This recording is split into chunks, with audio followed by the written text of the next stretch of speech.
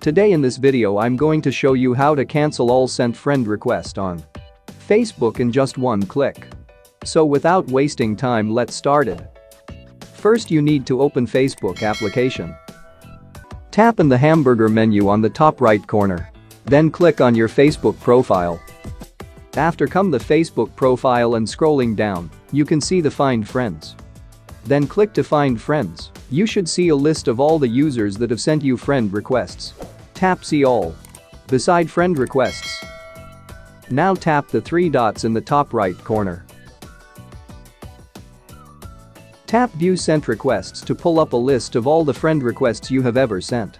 On Facebook that have not yet been accepted, you can easily cancel a friend request by using the guide to locate your sent friend requests and then selecting cancel request beside the name of the user. You can easily cancel your friend requests by following the steps. If you like the video, don't forget to like, share and subscribe to the channel.